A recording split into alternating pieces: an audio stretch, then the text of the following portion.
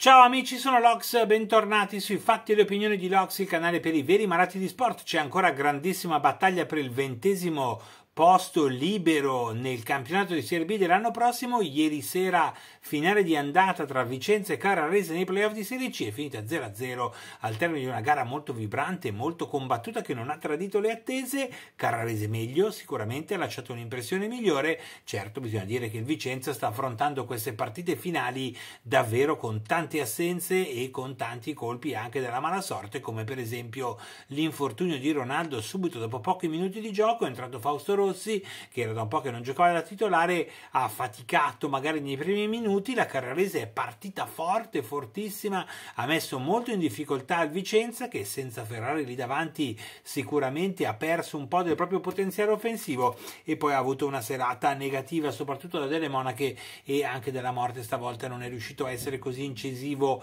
come nelle gare precedenti. La Carrarese mi è piaciuta, è una squadra che gioca veramente in maniera molto ordinata, recupera il pallone molto rapidamente, sa andare sulle fasce, ha davanti delle punte ficcanti, forse è mancata proprio la precisione nell'ultimo passaggio, nel creare reali occasioni da rete, perché se stiamo poi a vedere Confente non ha dovuto effettuare realmente grandi interventi per mantenere inviolata la propria porta, anzi poi nel finale il Vicenza ha avuto un paio di occasioni anche molto interessanti. Vicenza che nel primo tempo ha sofferto molto, di fatto è riuscita a farsi vedere molto poco dalle parti di Bleve, vecchio amico del, del, canale perché giocava nel Lecce che come sapete è una delle squadre che seguo di più su, mio, su questo mio canale. Il secondo tempo invece eh, Vecchi è stato come sempre molto bravo davvero un allenatore in grado di trovare sempre tante soluzioni tante soluzioni all'altezza eh, della situazione perché nel secondo tempo con un paio di sostituzioni è riuscito a essere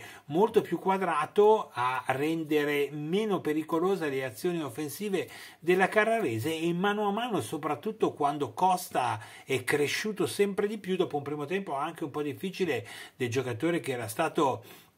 il migliore in campo in occasione della gara contro l'Avellino, autore anche di quel bellissimo gol eh, del momentaneo 2-0. Costa finito alla grande, bellissimo il suo duello sulla fascia. Eh, è una Vicenza che nei minuti finali mi è sembrato quasi comunque sia essere forse più fresco. Erano anche gli ultimi attimi della partita, cercare di arrivare poi alla gara di ritorno con un vantaggio da difendere. Invece finita 0-0, un risultato direi complessivamente giusto al termine termine di una gara eh, giocata con una buona intensità da parte di entrambe le formazioni, devo dire per stavolta anche ben arbitrata, perché Arena ha lasciato un metro eh, molto solido, robusto, l'ha lasciato da ambo le parti, non ha fischiato tante cose che i suoi colleghi sicuramente invece avrebbero fischiato e soprattutto piccoli falletti in mezzo al campo o scene di giocatori che magari si lasciavano andare giù con troppa facilità, mi è piaciuto il suo modo di arbitrare e credo abbia fatto bene anche proprio al rendere la gara un po' più godibile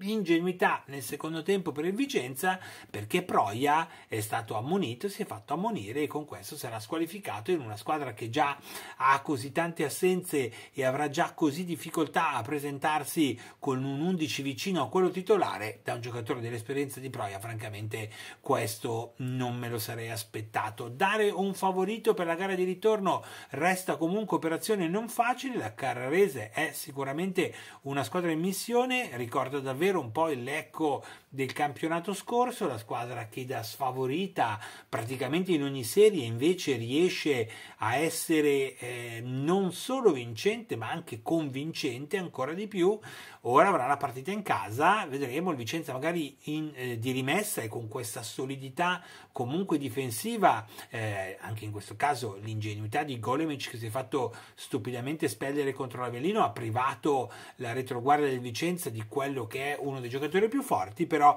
soprattutto nel secondo tempo quando ha giocato Sandon mi ha convinto anche dall'apparato difensivo. Sarà una finale molto aperta, in ogni caso il ventesimo posto credo che sarà occupato in Serie B, sarà occupato comunque da una squadra meritevole. Vi do le mie pagelle e attendo i vostri commenti che sono 6,5 al portiere Confente, sempre discretamente sicuro tra i pali e come regia difensiva ogni tanto se uscite alte qualche incertezza. 6,5 a 4 Cuomo, 6 a Fantoni, sostituito all'intervallo da Sandon, 7 perché Sandon ha fatto molto bene e ha davvero dato una diversa dimensione anche offensiva. Al Vicenza, 7 all'ottimo Laez, il migliore del Vicenza di ieri, 6,5 a De Cole, Ronaldo appunto uscito subito, 6 a Rossi che lo ha sostituito, 6 a Greco, tanto lavoro, tanti palloni recuperati ma anche un po' di errori in impostazioni un po' gravi, 7 a Costa per come ha finito la partita, 5,5 della morte, 5 delle monache, 5,5 Pellegrini, non la sua partita lì davanti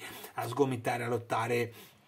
con la difesa della Carrarese, 5 a Proia, 6,5 a Mister Vecchi. Per la Carrarese, molto bene il reparto difensivo, al di là di Bleve che non ha avuto particolare lavoro da svolgere, 6 per lui, 7 a Eliane, 7,5 all'ottimo di Gennaro che ricordavo già molto bene l'Alessandria si è confermato su valori assoluti, 7 per Imperiale, bravi, tutta la difesa della Carrarese mi ha molto convinto, 6 a Belloni, 6,5 Zuelli, 6,5 dalla Latta e anche a Schiavi, 6,5 così come a Cicconi, 6 invece per Finotto e 6,5 per Panico, 7 a Mister Calabro che è stato molto bravo a mettere in difficoltà una squadra così in forma, così in salute, di, autrici di un playoff così buono come quello del Vicenza. Fatemi sapere ragazzi cosa ne pensate di questa gara di andata, 7 all'arbitro Arena, il voto come vi ho detto mi è piaciuto il suo modo di arbitrare e quali sono le prospettive per la gara di ritorno che ripeto trovo che sarà comunque molto interessante e mi aspetto essere ancora molto molto combattuta. Ciao a tutti, alla prossima prossima,